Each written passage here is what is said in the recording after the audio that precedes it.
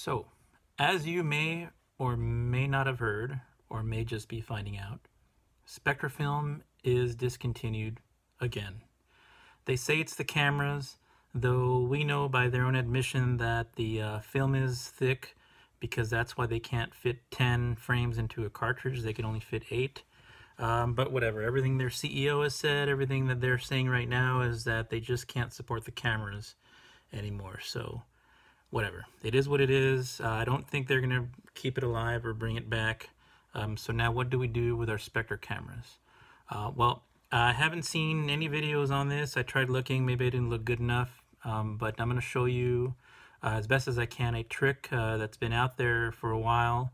Um, several people have been uh, doing this to, I think this came about probably the first time uh, Spectra was discontinued. Um, and it's how to reload um, 600 type or I-type. Uh, I'm just going to refer to it as 600 type from here on out.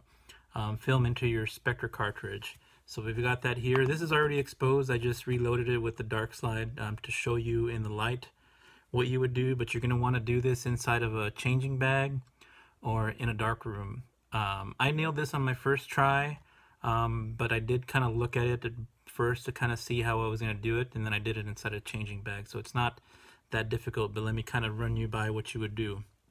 Um, so you're going to want to have all these three things inside of a changing bag, right? You're going to want your Spectra camera uh, already opened, uh, or at least be, able to open it inside of the camera. I mean the changing bag, sorry. Um, you have your new film and your Spectra cartridge. Uh, some people worry about the voltage not being able to support it, but I have actually reloaded this several times. It's probably the third reload, and it does okay. But at least if you reload it just once, whatever. Um, so at least if you've got any Spectra film remaining, save all your cartridges um, and that way in the future you'll be able to uh, reload them with uh, 600 all right um, so let's do that right now so let's pretend we're in a darkroom or a changing bag and what you're gonna do is um, actually beforehand on this guy be in the light you could already just like pop this open um, I had already popped already had it popped open so it didn't take that much effort but I think it's these do close back up the 600 type don't and then you just kind of yank it um, it's okay if you break any of these plastic things because when you put it back into the camera, you don't need it to close anymore. As a matter of fact, it's not going to be able to close because the film uh, won't let it. Uh, 600 type film is longer um, in this direction than Spectra film. All right, so you already have that ready in the changing bag. Then you're going to grab your I-type or 600 and you're just gonna yank this right open. You're not you don't care about this cartridge anymore anyway, so just like pull it all the way off. And then you're just gonna pull it out, get it out of the way inside of the changing bag. And then what I do in the changing bag is I squeeze the dark slide and I try to feel around to see what I could pinch out, right? I just dig up in there with my fingers and I try to pull it all out.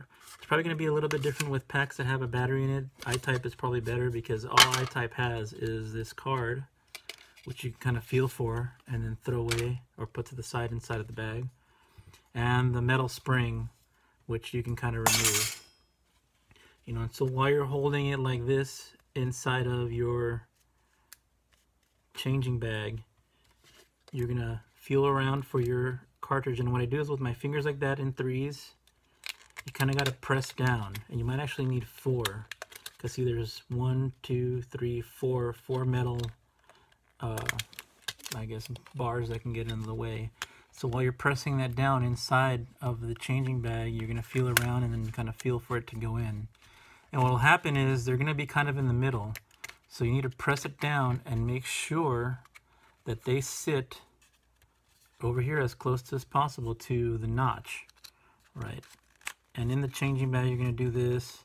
Um, you're probably going to miss this part in the changing bag, and that's actually okay. Um, because all you needed to do is to align on this side. And that should never really have a problem. Um, but you can always feel around for it. In the changing bag, you'll get the habit of doing this, pressing it here to make sure that it sits flush along this edge. And then what I do is then I press it from up here. So while I'm doing this, these two actions, pressing it from up here and then at this time, uh, this side, like I feel, I get a feel for it and I'm like, all right, cool, it's flush. Right, if you want, you can do a little tap, tap, tap again, although that might loosen it up and feel it around. So at this point, it's going to stay like that. Like I said, it's not going to close because your film in there is uh, blocking it. But you're just going to put it in the camera. Um, my uh, when I was tinkering around with this camera, fixing it a while ago, I just kind of screwed it up so um, it'll spit out the dark slide if I don't have it closed. Watch, you'll see when I open it. Ta-da! Okay, so now let's go, uh, I'm to go into my changing bag and then load some fresh film and then show you same, some uh, fresh exposures. And this camera now has a Spectra cartridge with reloaded 600 film. Uh, once again, my camera is uh, screwed up a little bit. Um, I messed up the sensor inside, so the moment I open it, it should eject the uh, dark slide. So let's see if that happens. And it does. That is the Polaroid 600 dark slide. So at least it does that. So now let's take a photo. Let's take a photo up with the camera. It might be, um, it might not work, but let's see. Let's. All right. Well, this I-type film not good, but let's see. Let's see if there are any results. Let's see what else happens. Take another photo up here of my Prusa printer.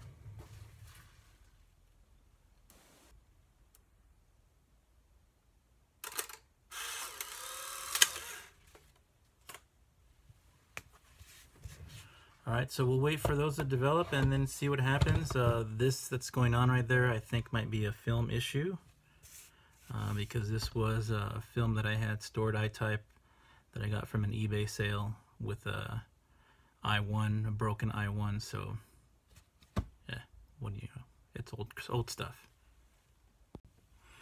Okay, I was worried for a moment about what uh, was happening in the pictures. I wanted to rule out that it was the rollers in the Spectra doing anything, so I just pulled out an unexposed frame and you could see it already has that mark on it. So this is just a bad batch of film, but it doesn't matter because there is a photo that I took of my tripod and my iPhone filming this video. And as I said, there is the uh, photo of my uh, Prusa printer that I just took. So obviously they need some more time to finish developing. It's only been like about, I don't know, a couple of minutes. But there you have it. You can load 600 type into your Spectra camera, use a changing bag, uh, or do it in complete pitch black in your darkroom if you've got one, and you should be okay. All right, hope that helps.